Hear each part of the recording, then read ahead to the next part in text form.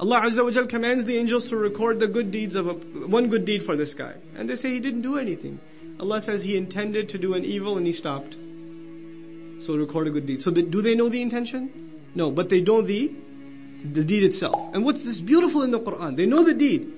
On the day of judgment, Allah Azza wa Jal describes this person who comes with these deeds. وَقَدِمْنَا إِلَى مَا عَمِلُوا مِنْ عَمَلٍ Right? وَقَدِمْنَا مَا عَمِلُوا مِنْ عَمَلٍ We come forward with whatever deeds they had done. Meaning the angels had recorded them. He was like, this is on my record. But did Allah know that these deeds were done with bad intentions?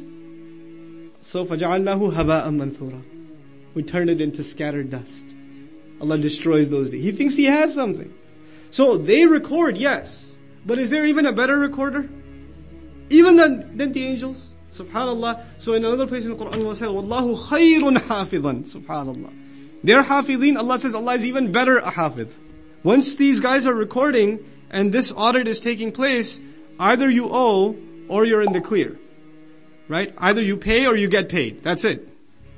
There's no walking away with no obligations. There's, there's none of that. So now here, innal abrara lafi na'im. There's no doubt about it. The righteous will be in bliss. There's a few things about the language of this ayah we have to pay attention to. The one who hasn't attained righteousness is out in the sea he's unstable, he could drown, he's in danger. And the one who's attained righteousness, who's doing good deeds, is like the one who's on firm, solid footing, he's on land. He's not in, he's not in danger, right? So inna al-abrara lafi. And then he speaks on the other side, wa الْفُجَّارَ لَفِي جَحِيمٍ.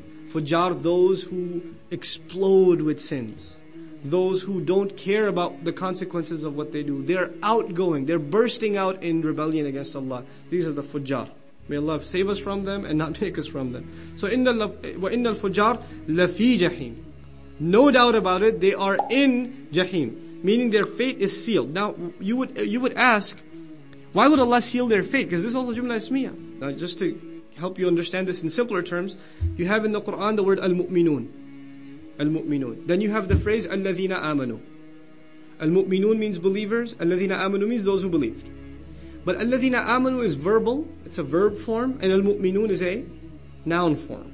The differ- there's a difference between them, they're not the same thing. When Allah uses the noun, He's talking about someone who's matured and become permanently, you know, stable in a certain state. So understand, al-fujjar are those who are bent upon this rebellion. They didn't just rebel one or, once or twice and Allah sealed their fate and they're in he- hellfire. They have now decided this is their life. They've made a commitment to fujur. So these people, Allah says, if they've made their commitment, we made our commitment too. In the previous surah said, where are you headed? And if you deny this truth, if you don't take responsibility, these people will be cast into it. They will be, uh, it's not even, actually I shouldn't have translated it like that because it sounds passive when I translate it like that. Yaslawnaha, they will enter upon it, stumble into it, trip into it. Okay? Salyun, it's a difficult word to pronounce in Arabic, but it's, it's used when you trip into something. Or you go somewhere where you don't want to go, but you go on your own anyway. Right? You're reluctant to go, but you go. And you, so it's almost like you're forcing yourself to go. They will be cast, they'll, they'll cast themselves into it literally.